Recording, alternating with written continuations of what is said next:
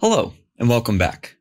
Today I'll walk you through enrolling a device using the Android Enterprise Profile Owner Enrollment method.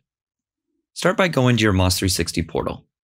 Go to Users, Directory, find your user, then select Add Device. Select either Device Account or User Account. Generally, we recommend selecting Device Account. You can navigate to Advanced to select Policies, Device Configuration, and enrollment authentication options. If you do not select these options, your default setting will take effect during the enrollment.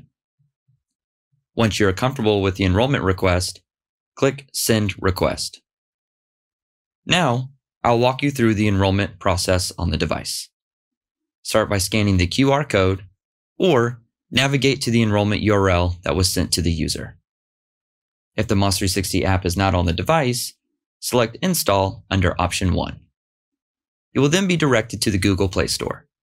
Click Install. Once the MaaS360 app is installed, click Open.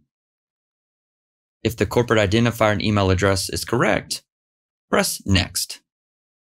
It can take some time for the work profile to download. Now, you will see the user authentication screen. Once the user authenticates, it will take a moment for the MaaS360 app to configure.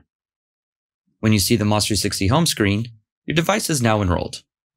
Like and follow for more helpful videos.